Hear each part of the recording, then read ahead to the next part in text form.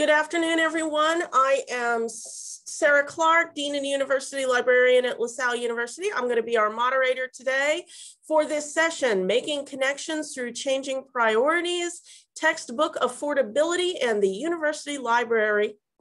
Uh, in March 2020, the COVID-19 pandemic drastically affected higher education. At the University of Texas at Tyler's Muntz Library, it obscured our financial future and changed the nature of student life. Not knowing what our future budget would look like and given our students financial insecurity, we wanted to use what budget we had to support our students. In the two most recent semesters, fall 2020 and spring 2021, Muntz Library made purchasing textbooks a top priority. This project has paid off in two major ways. First, it was well received by students, faculty, and university administration. Second, it led to increased collaboration and conversation with faculty. Sorry, just a second. Uh, and this, uh, as librarians, we are always looking for ways to engage with faculty, and this project has given us a great opportunity. Like it has for many others, COVID-19 forced us to change our approach to student support. And in this case, change has been positive. We share our story to demonstrate how a disaster response can lead to innovative approaches to student success and faculty outreach. We hope to further the conversation among fellow librarians regarding the changes caused by the pandemic, their influence, and sustainability. Attendees will leave this presentation with do's and don'ts about how to implement a similar program at their institution. And presenting this session today, we have Christine Forisha, who is the STEM and Criminal Justice Librarian and Outreach Coordinator at uh, University of Texas at Tyler.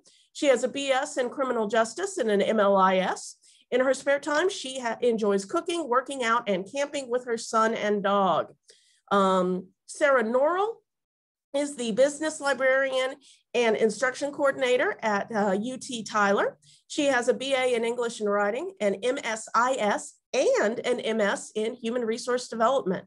In her spare time, she enjoys baking, spending time with her two scruffy dogs, Marshall and Petey, and taking care of her ever-growing collection of houseplants. Uh, and then last but not least, Sarah Meisch-Lacombe is the social sciences librarian at the University of Texas at Tyler. She has a MA in French Studies from NYU and an MSLIS from the University of Illinois at Urbana-Champaign. Uh, she is a dog person, an avid reader, and a Francophile. So at this point, I just want to remind all of our participants one more time to um, stay muted unless uh, you're called on. I will be watching the chat throughout um, if you have any questions or things you want to add. And at that this uh, juncture, I will go ahead and mute myself and hand things over to our lovely panel. Thank you so much, Sarah. Thank you for such a wonderful introduction. Um, Again, like Sarah already said, we are here to talk to you about making connections through changing priorities, um, specifically talking about textbook affordability in the university library.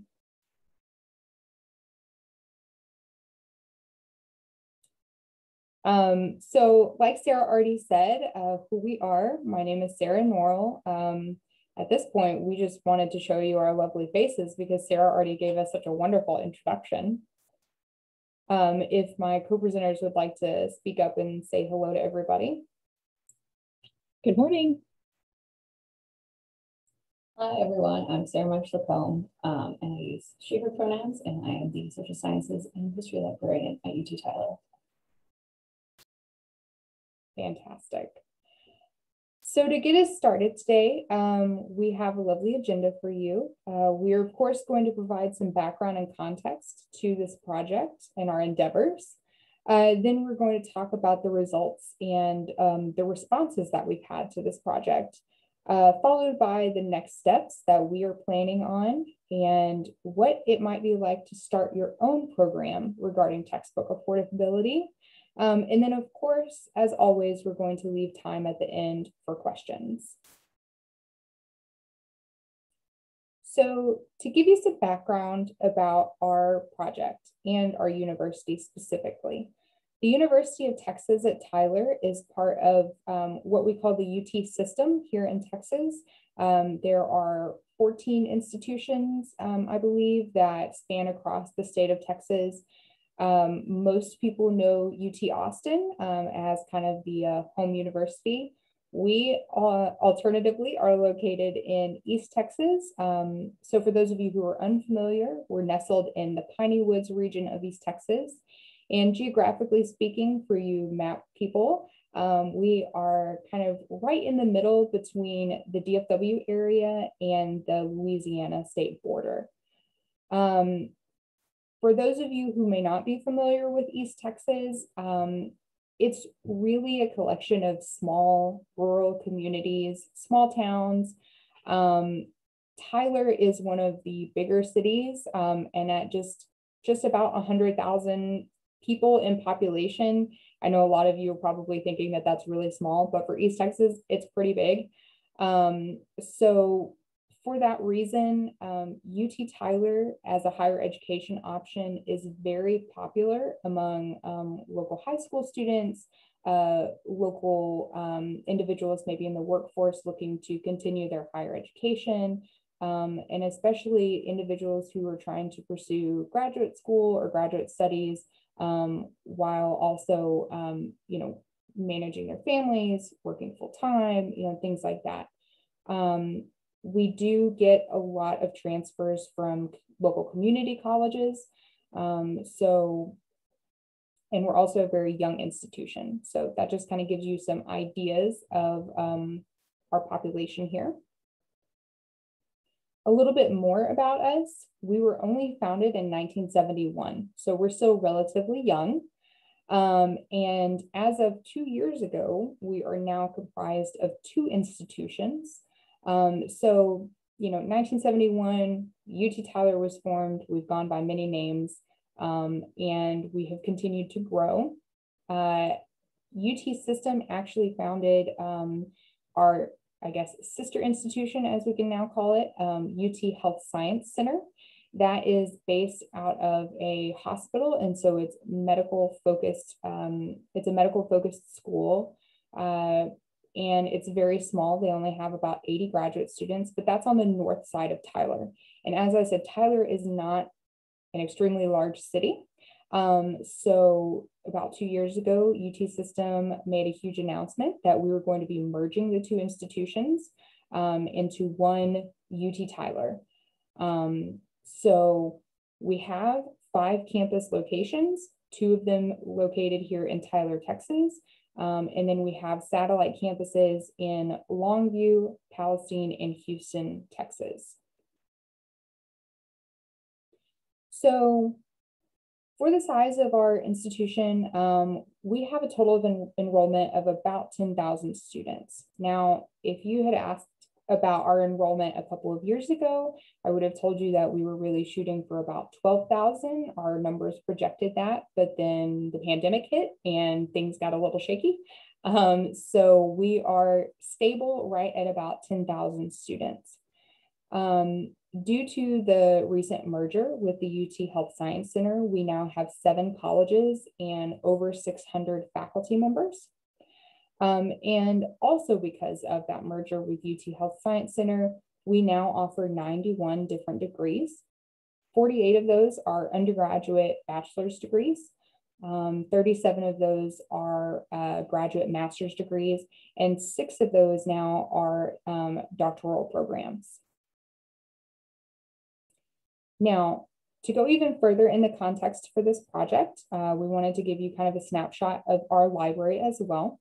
Um, the Robert R. Muntz Library, or Muntz Library as we call it, um, it was built in 1982.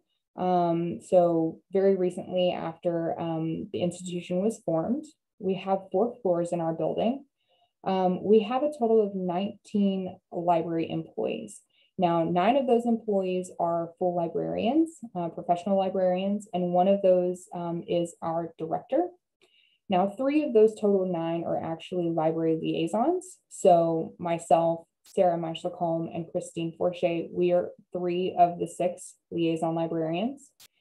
Um, and we also have 10 wonderful library staff members. Um, so actually prior to 2020, um, prior to the pandemic, our collection development policy was that we absolutely did not purchase any textbooks. Um, and you are about to see how drastically that has changed. So of course, um, when COVID-19 uh, really hit in the US, uh, like so many UT Tyler, uh, we moved to online only classes in the spring. Uh, we took an extended spring break um, so that our faculty could uh, get their heads on straight to try and, you know, figure out what they were going to do. Um, now, during this process, it was very unclear for the library, of course. We weren't sure, you know, would we be coming back to campus? Would we not? Would the library be closed? Um, and as it turned out, um, our uh, university administration decided that the library should remain open. And we have remained open this entire time. Um, even during our statewide shutdown that lasted about two weeks, the library was still open and functioning. It's just the building really wasn't open, but we were still fully providing, of course, um, as much uh, access and services online as possible.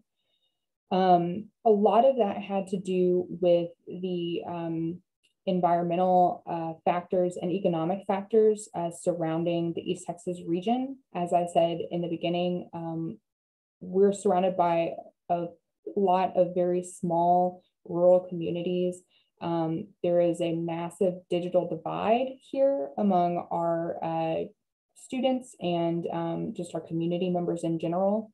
Um, so one of the main concerns with you know closing the library was that our students who are now forced to take the rest of their classes online for the spring semester would not have access to internet access or just computers in general, um, or they wouldn't have any um, access to digital resources that they needed, such as their LMS, in order to contact their professors or even submit their coursework.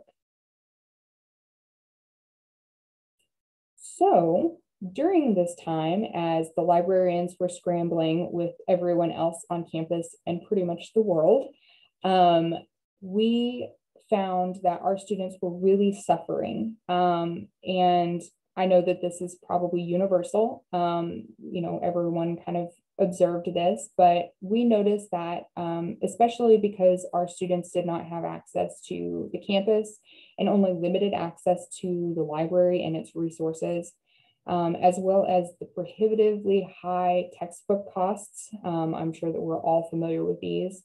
Um, and in addition, uh, I'm sure that anybody uh, who was stuck at home for any period during COVID 19 last year knows um, there was limited stocks and extreme delayed deliveries. Um, so if you tried to order anything from Amazon or anything anywhere, um, there were some real limitations um, going on. So we noticed all of this, and as a group of librarians, we really um, began searching and brainstorming for solutions. And that led to our major and drastic change to our collection development policy. Um, so, our textbook project, we decided that instead of continuing to purchase um, one time uh, supplemental resources to boost our collection, um, that we would instead funnel those funds to purchasing textbooks for our students. Um, there was a lot of talk involved trying to decide, you know, who would we like what colleges we would purchase for, what courses, so on and so forth. Um, and we determined that there were some major priorities that we wanted to um, take care of and then also be aware of certain limitations. Um, one of the main priorities is that all of the textbooks that we purchase are in electronic format. Um, and if at all possible, multiple users may access that title at, a, at one time uh, because nothing is more frustrating than when you're trying to access an ebook and somebody else has it checked out and it's one user at a time.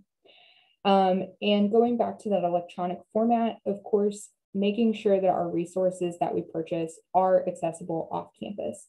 Because there is such a digital divide in our community and surrounding areas, we wanted to ensure that none of our students had to concern themselves with how they were going to access their textbooks for for their courses um, if the library were to provide them. And of course, those limitations cost. Cost is everything. We don't have a money tree. We don't have unlimited funds. Um, but we do have that standing um, financial budget, um, of course, that we already were using to purchase one-time um, resources. So making sure that we can get the best bang for our buck, um, the highest um, return on investment as far as which textbooks we purchase and um, how they're used. Um, and again, as I've already talked about, availability is everything and being able to provide access to those textbooks in the widest uh, the widest variety, I guess, as possible.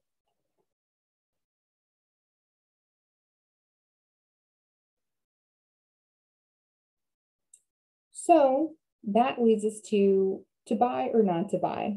Um, as a group of librarians over seven colleges, that adds up to a lot of textbooks, um, to a lot of classes. So we really had to um, be strategic about which which titles we were going to purchase. Um, the main things that influence our purchasing decisions, of course, are the number of students in the class and the number of sections of that class. So if we have um, maybe a, a, doctoral level class that only is going to have about 12 students in it, and it's only offered once a year, versus um, maybe a core class that's offered three times in a semester, um, every single semester at 50 or so students, um, each section, then that choice is pretty clear. We want to purchase that textbook that's going to um, make the biggest impact for our students.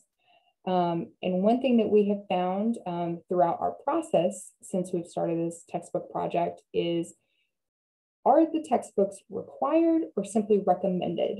Um, because we have definitely found that anything that's purchased that is simply recommended um, usually shows that the usage um, and the return on investment is fairly low compared to those that are required for a course. So passing it over to my colleague, Christine. Thank you, Sarah. So a little bit about implementing, putting this into action and what the results were. Of course, once we have a big program, or a new offering, whether it's a new database or um, a, a, program going on, it's always how do we get this message out? So we sent out direct messages through email to all of our faculty and staff and to all of our students, letting them know that we were purchasing the textbooks and that they would be available. We did a big push on social media and we had the announcement on our embedded LibGuides um, a, few years ago, we were able to move to the LibGuide CMS so that we were able to embed those directly into our LMS, into Canvas. So we have a box on each of the guides that has special announcements for the library, and this was included. It also linked to our LibGuide about the textbooks. And I think there's a bigger picture on the next slide. Yes. So we trying to organize a project of this size is always challenging, but we put everything in order by which college um, the students were in and organized each of those tabs according to what the course was. We have a selection, um, some of the, the courses use a lot of the same books every semester, so those are not listed separately as um, fall or spring. And then we have some where the courses are offered one semester, but not the other. So those are separated out. Um, but they're all listed by the college and then by course number within the college. Some of the numbers for this in the fall, we were able to purchase 116 titles. That cost the library $14,500 if every student that registered for the class used the library textbook, there would be a cost avoidance of $130,000. So quite a good return on investment um, for the students if they so chose. For the spring, we purchased an additional 133, 133 titles uh, for a cost of $18,000. And if all of the students and re registered for those classes use those books, their cost avoidance would be $101,000. So we had the potential to have some really um, impressive savings there for our students. We also had books that were already included in our collection that may or may not have been um, requested by faculty. They might have just been part of our various collections anyway, and we were able to put those on the research guide and advertise them as, hey, you may not have known, but we actually had this book that you need for this class. Our e-resources team is still working on data for all of the usage. So we don't have a ton of numbers yet, but I was able to look at our spreadsheet for ProQuest's eBook Central. That is our primary vendor for the textbooks. Um, we had numbers for our September through April, and we had a total of 41,192 requests for 130 books.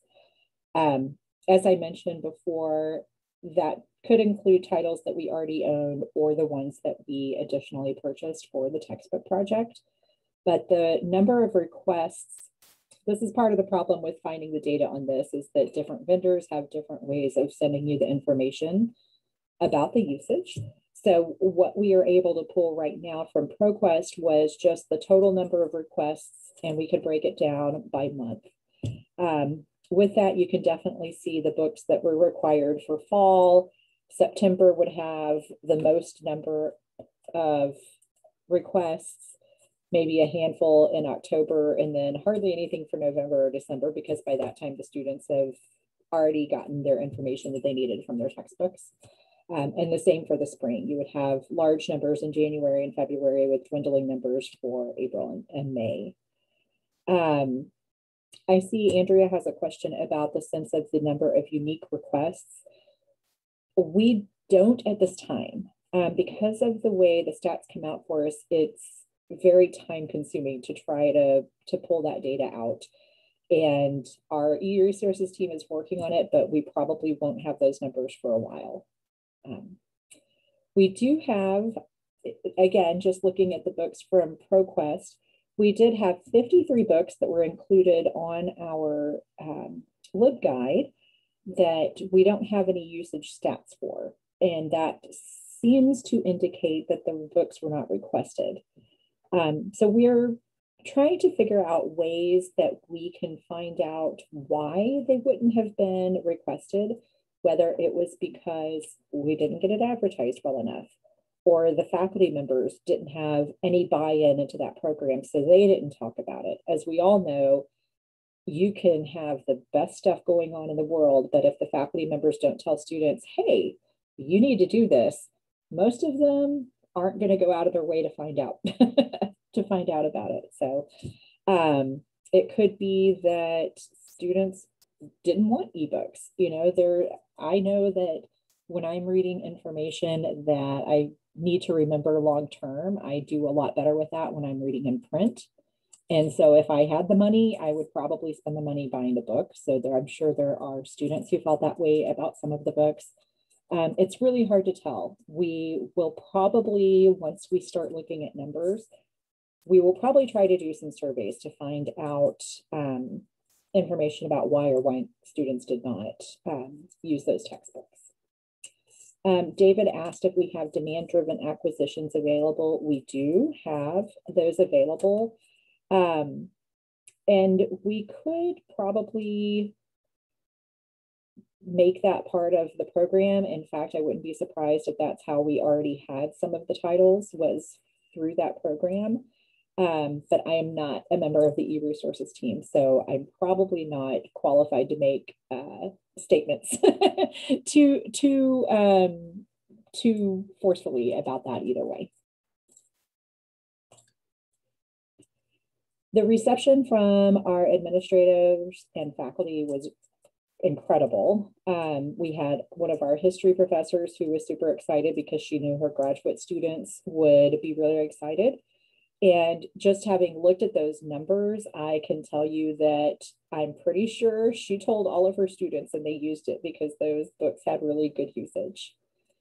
Um, our director of student engagement was really excited about letting our parent coordinator know so that they could tell the parents. As we all know, the parents are going to be looking for money savings a lot of the time. And if they can find out that, hey, I can save $300 this semester on books, that's great. Who wouldn't want that? And then the last quote is from our provost, who said he appreciates our efforts and it shows where our passion lies with student success. Our tagline for our university is Your success, our passion. So that quote definitely feeds into um, his recognition of our program working with the mission of our university. I've noticed a couple of other questions here. Um, the textbooks used more in the STEM fields. And as the STEM librarian, I can definitely tell you that was much more difficult. A lot of our textbooks for the STEM areas are um, through like Pearson, and they have the whole packets that come with the online information. And those typically are not available as a library ebook. And if they are, they're not available with multiple users. So that was definitely more challenging. Um, and if we're promoting OER, Michelle, yes, we will get to that in a moment. Um, and Edward with the business fields, definitely. Um, Sarah could probably speak more to that, but looking over our statistics for just the ProQuest books, business was probably the area where we had the second best usage of the ebooks. Um, as far as the number of access points that we had for that, maybe not as high, but compared to the number of students in those classes, probably definitely. um, so we're working on further semesters. For summer right now, we have ordered 27 new textbooks and we already have access to 25. And we are starting to work on our fall textbooks requests. Um, as our director sent out an email at the beginning of the semester letting faculty know about the um, textbooks that we had for the semester, they started flooding us, all of the liaisons, with requests for this is the book I'm going to be using for the summer, or this is the book that I'm going to be using for the fall. And as far as I know, if our budget holds, we will continue to do this for the foreseeable future. With that, I'll send it over to Sarah Meisch-Lacombe to talk a little bit about those next steps and to address some of those questions about OER. Yes, I will definitely be getting into some discussion of OER. So some of our next steps, one of the biggest things that we need to do is to continue our outreach. Um, even though we've been doing this for about a year, there are a lot of people who still don't know about the program that's going on. Um, we, I have had the experience lots of times of students hopping on to our library chat and saying, hey, my professor said we have this, said you have this, but I don't know where it is. So there's some communication there that needs to be done to make sure that everybody knows, yes, we have some textbooks, not all textbooks, um, and where they are and how students can use them. We also have been working on talking with faculty about how they can consult their librarian when they want to move to a new textbook. We've done a workshop about this, um, and we want to let faculty know, and we've gotten some good feedback from faculty that when they want to change textbooks or when they're thinking about what they're assigning for the semester, that we as librarians can look up their book, see if it's something that the library could buy. And if it's not, we can suggest OER, or we could also suggest another book that would be affordable for the library to purchase. And the biggest thing that we have been doing is moving OER to the to the forefront. We really want to move away from the really expensive textbooks or the course packs and try to get faculty more aware of the OER that is available. The UT system does support the creation of OER among faculty, um, and we really want to become more of a hub for sharing information with faculty about what is out there, and if it's not out there, what they could create.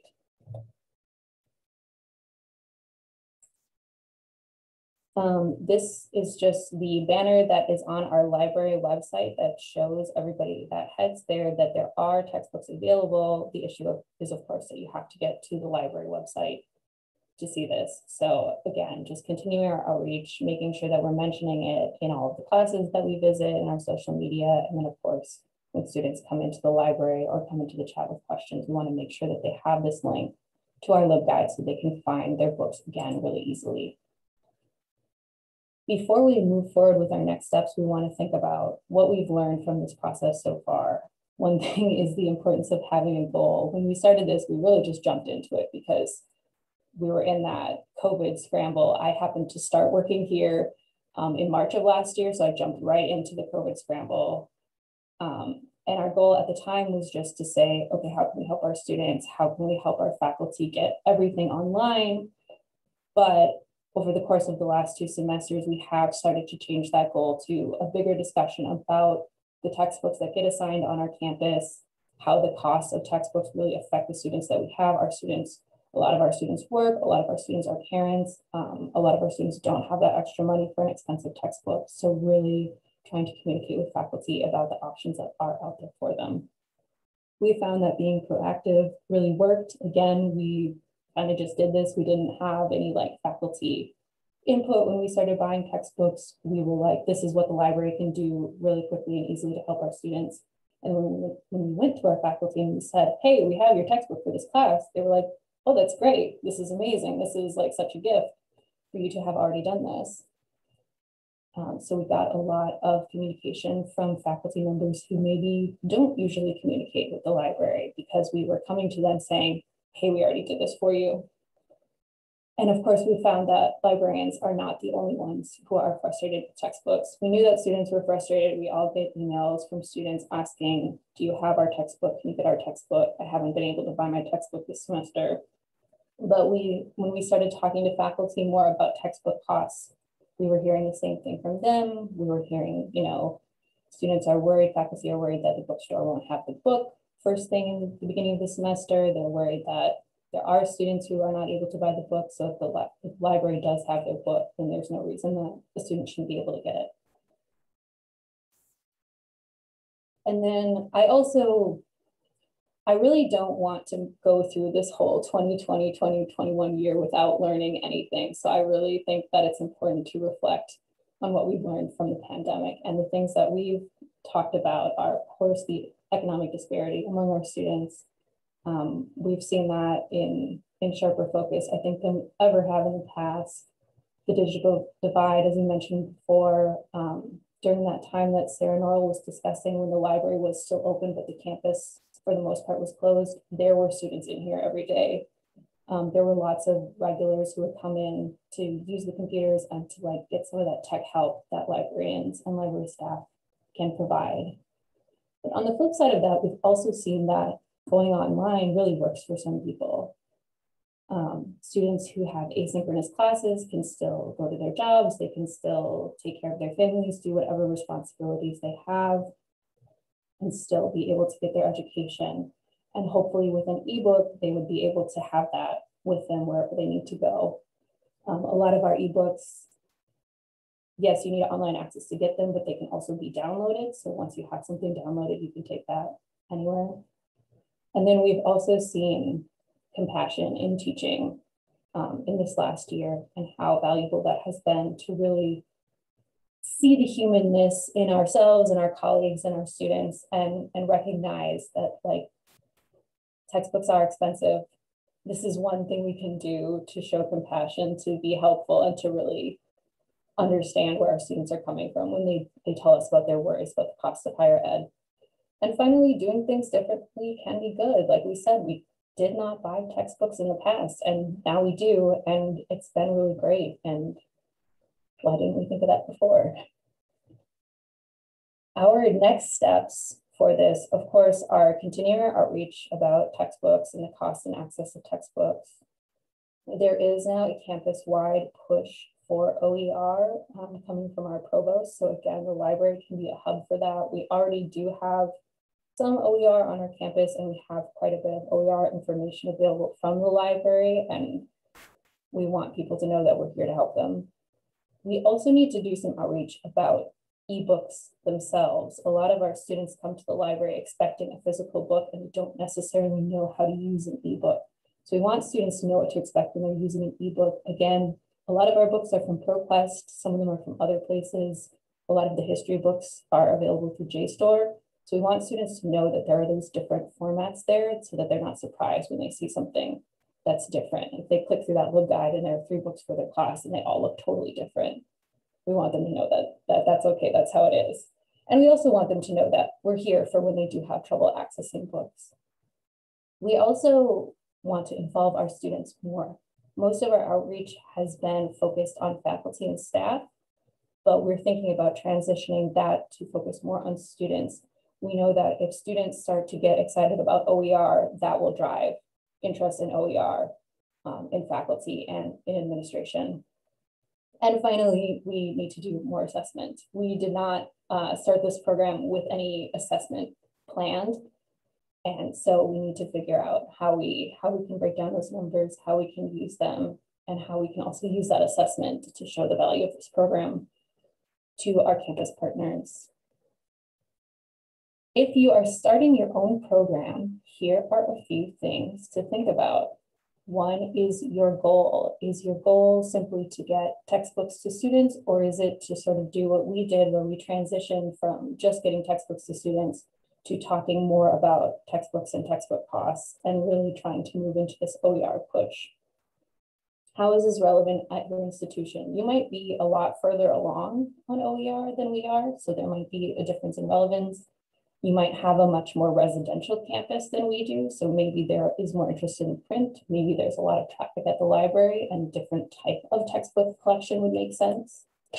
You can also think about scalability. You could start really big, you could start really small, you could start with a single department, you could start with focusing on textbooks for core classes or for classes with high enrollment, or this could maybe be tied into a first year experience program.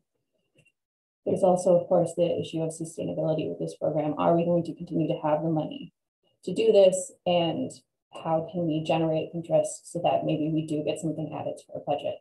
And if not, is there a different way that we can we can go with this? And then finally, having assessment plans in place is very valuable. A few final thoughts. We want to stay relevant, having those books that students needs, that student needs um, keeps us relevant, keeps students coming in, gets more engagement. Our first duty is always to support our students. So we want to keep our students at the forefront of our decision making. And then this has been an opportunity for us to show students and faculty what librarians do. There are always people that don't know, you know, what does a librarian do all day? We've all been asked that question. So this is this has been an opportunity for us to get out there and show the value of the library and the value of what we do. A few resources that we looked at um, that we want to share with everybody. And finally, we have time for questions. We absolutely do. Um, I know you answered a lot of questions as we were rolling along. So I'm going to start from about 10 minutes back. Uh, the one that came across at 1233 from uh, Angela Chickawero and just start reading down the list if you posted something earlier than that that you feel like was not answered by the presentation, just type it in again and we'll get to it. Okay, so Angela asks, in what ways do you support faculty interested in adopting OER? So I'll jump in on that. Um, I personally have worked very closely as the business liaison librarian, and I know there was a question regarding like business uh, title specifically. Um, I have worked very closely with um, several of my business faculty uh, in adopting, but not just adopting, but also I really, we really try to work very closely, um, almost in a you know one-on-one type of relationship to to really discuss the the class that they're interested in adopting an OER, um, looking for available resources, not just textbooks, but also you know what I like to do is just do a wide search, just give them anything that I think might, you know, touch on their topic, be relevant in any way, whether it's a full course package, whether it's just a textbook, whether it's a slide deck, you know, whatever. Um, because I think that providing um, as many options for a faculty member really um, kind of opens their mind to the idea of OER. Um, I know at UT Tyler, and my colleagues can probably back me up on this, we have had a large push um, from the top down for OER. Um, the problem has been there has been a lot of miscommunication and I think some misconceptions about what OER actually are, um, what they look like, how they can be used, and things like that. And so now I feel like um, we've had that that top down push, but then also the library is trying to like meet in the middle with that top down push and say, hey, we're here to help you with this. Uh, let's let's um, you know have a discussion about this. Let's talk about what OER you know actually are like and things like that. I think the biggest misconception on our campus or in our institution is probably that to use an OER, you have to create an OER, um, you know, like from scratch. And so, really trying to get the word out, market ourselves, educate as much as possible, um, you know, things like that. Um, so, I don't know if my colleagues want to add anything to that or if I answered your question. Um, I will just mention that there are, I believe there are grants available from the UT system and our university is again just beginning to have more of an OER push. So I imagine there will be incentives coming for faculty who want to adopt OER. Okay, uh, Michelle Toth asks, any follow-up or alternatives for textbook requests that could not be met by providing an online text? I have had sort of the interesting experience of one of my departments deciding that they wanted to pony up their own money to start buying uh, textbooks. And that has sort of evolved into its own thing where it looks like we're going to have more of a um, print reserve collection because the faculty in that department were pretty attached to the books that they currently have, and a lot of those are just not available as ebooks. And that is something that we have encountered for a lot of the requests that we get. There's just not an ebook available, and the instructors who are willing to um, engage with us and, and look for other alternatives. Um, I've had some success with that. I've had a couple of instructors end up finding another book that was available through the library, especially in the communication department. Rebecca, uh, Rebecca Metzger, I know the answer to this one. It says, you, did you have any kind of course reserves program before this? I know you said you didn't really do textbooks. Um, we have the program where if the professor wants to bring in their copy, right. we'll put that on reserve. And occasionally there'll be something in the stacks, but yeah, that was about it. And in fact, when I was looking at our research guide, there's a whole segment of um, the education, the reading classes that have a large number of their books on reserve because they are kids' books or what have you. So they right. they have a big selection of them. Okay. Um, let's see. Uh, Isabel wants to know: Did students come to the library to try to print out the ebooks? Not that I've Not encountered. Okay. Yeah. Let's see. Amanda Pippett wants to know, is the collection development policy change only allowing for textbooks as ebooks? Were there any print textbooks used and put on physical reserves since your library was open? Our collection development po uh, policy is really going all ebooks all the time. Um, if, like I said, uh, for one of my departments, if they want to spend their own money, we will buy a print book. Um, but it's fairly rare that we buy print anything at this point. Okay. Uh, Christine Moore wants to know, in balancing textbook selection as a matter of academic freedom, how do UT faculty leaders see push for uh, OER versus university, not just library, responsibility for making required texts available at low slash no cost to students, regardless of actual cost of materials? I'll grab that one because that comes up in faculty senate a lot. And we do have quite a number of faculty who roll their eyes and are like, I'm so sick of hearing about OER when our faculty or when our students going to take responsibility for their own learning. And this is part of being responsible. And my as yet unrele- unreleased response to that is that you know, there's a big anti higher ed movement in the country right now. And a lot of that has to do with return on investment and the cost. Mm-hmm. And if you don't want them to take it out of your ability to have TAs or RAs or um, raises, you know, we've we've got to lower those costs somewhere. And this is one area where you can do it really relatively easy. Um, we definitely have people who are big cheerleaders, you know, it's they are all about it. They're always telling people like, go talk to your librarian. They can help you with this. Uh, we get that about Sarah Norrell a lot because of the work that she's done with some of her business faculty. Um, it, it's it's a very mixed response, but I think that our state legislature is moving in the direction of um, not giving the faculty as much academic freedom on that as they would like.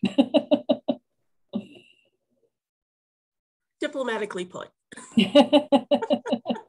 Every uh, once in a while, I try. yeah. Michelle Bear um, put uh, asked a very good question here. Are you concerned about managing expectations? We find that because we buy some textbooks, some students expect we will buy all textbooks. I'll take that one. Um, yes. so when we first started this project um, last year, it was, you know, like we've mentioned, it was just kind of a all hands on deck everybody in, do what you can, you know, like let's just roll this out, you know, as best as we can as quickly as possible. And as the word has started getting out, um, which is great, uh, we've also had a lot of questions of like, well, why couldn't you get my textbook? I sent it in just like you asked me to. Um, you know, when we when we as librarians send out those emails to our faculty and say, hey, you know, we're currently purchasing, you know, textbooks and things like that. Um, some of us, I think a lot based on our subject areas, some of us get a lot of responses, some of us not so much.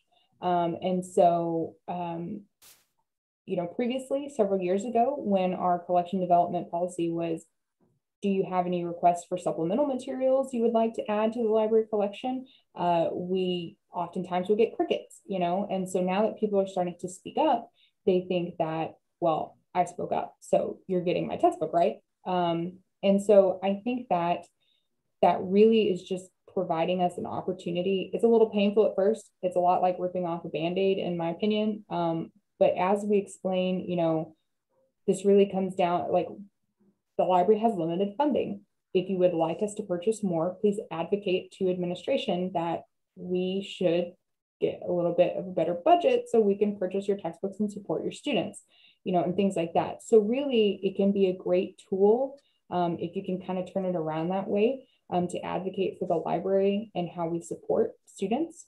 But then also going off of a, the larger conversation we've been having, this really does provide a fantastic opportunity to discuss with your faculty other options besides these expensive textbooks um, when they're so frustrated that their students aren't purchasing the required texts and that the library also cannot afford the required texts.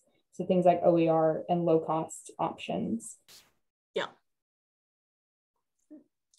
Uh, Adam asks, how long do students have access to the textbook until class ends or until they graduate? That largely depends on the the vendor, what their model is for the checkout.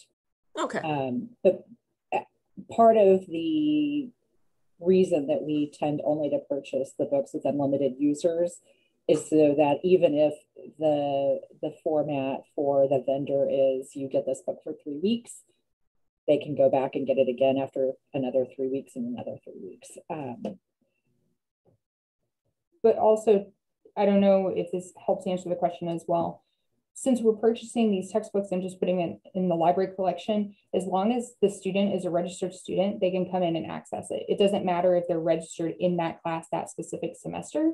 If they want to go back and check it, you know, right before they graduate, two years after they've taken the class, they can do so. Uh, then we've got Rebecca. Uh, do you have numbers of uh, requested titles that you couldn't get access to or that you could only get single users, etc.? I think she's asking, asking for any statistics you might have. We don't have, I don't currently have the specific numbers on that. I think that is still part of the full report that our e-resources team is working up. I can tell you that in the spring, when we were spending three days solid looking for all the books we could, that I I submitted requests for 74 books and I ended up getting seven. So um, I think my the STEM areas, the science and the math tend to be more likely for that to happen because, as I mentioned earlier, we have a lot of those package deals uh, that get used on our campus that if I have to say OpenStax has stuff like that one more time, I might like just get it tattooed on my forehead. Um, I, am always mentioning to my faculty, like, hey, you know, that comes from Rice and that's the Harvard of the South. So they've got good stuff. Um, or, you know, Harvard is the Rice of the North. But that's just a Texan way of putting it. Being from Oklahoma originally, uh, I'm a recent um, transplant up yeah. here. Um, let's see, a little bit of back and forth on Michelle's question about managing expectations. Um, let's see, Anna would like to know what percentage of your current textbooks are OER? That is something that we uh, we compiled a list recently, and I I don't know what ended up, but we ended up finding that there were more OER and low cost textbooks than we expected. So that's another report that is in the works. Cool. Watch the space, basically. Yeah, and I also think this kind of goes back to what we were talking about as to needing um, make sure that if you're going to do your own program like this, make sure that you have like some assessment goals and that you keep up with assessment as you go.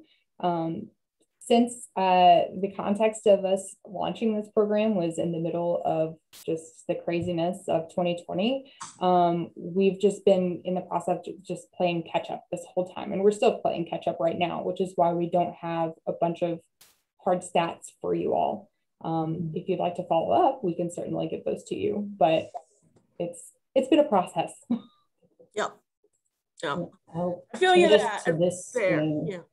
yeah. So everybody can see our email addresses. Oh, good idea. Yeah, put the contact info there. Um, let's see. Uh, David Alexander makes a, a, a, suggestion I like. Um, how about a library fee added to tuition to support the textbook program? David, I'm going to assume you don't live in Texas. uh, yeah, it's a nice thought. Mm-hmm. Um, Kathleen wants to know um, how did you get the list of books from the bookstore or the faculty themselves? Both. Uh, the bookstore has been willing to uh, work with us and, and give us the list. I think they assume that a certain number of students are always going to go out and buy the book if they can afford it. Um, so they are, you know, they're still in business. We also have had semesters or classes where we've had to look through the bookstores listings to find out what the the required books are, and then faculty have also sent in lists. So we're, we're getting information from numerous sources. And uh, before anybody asks, the bookstore has has not been mad at us about this so far. Yeah, in a previous life, I I was in charge of you know a a, a similar project with textbook reserves, and um, I think they saw it as sort of a win-win. That yes, students would come in to copy off a page or two, but hopefully that would then encourage them to just buy a copy. So yeah. Um, let's see some more back and forth on uh, Michelle Bear's question. Um, Rebecca, something I want to amplify there. Certain publishers do not make e-textbooks available to libraries at any price, and some are stupendously expensive. It's frustrating. I think all of us on this call would say amen. Yeah. Um, David Alexander did uh, reply. He's from South Dakota, uh, even more conservative, but I think the idea of lowering student costs makes a library fee worth bringing up. Um, yeah, and, in the I agree. Pub, yeah, it, it, it, it, it, you know, it's definitely worth a conversation. Um, let's see, always tricky to navigate that relationship with bookstores. I think I, um, I think we've covered all the questions. It seems to be mostly chit chat at this point. Does anybody, we are at five, uh, four minutes to the hour. So does anybody want to get in one last question before we go or are we good?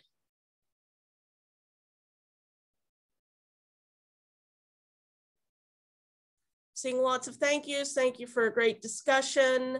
Uh, okay, I think we are good. Um, thank you to our wonderful panelists, Sarah, Christine, and Sarah.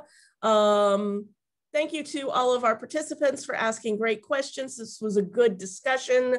You're always worried about it just being crickets with these things. So it's it's it's great. Uh, uh it's great for the presenters and uh, for everyone else. So unless there's anything else, I think we are uh, ready to call this a day. Any final thoughts from our uh, from our presenters?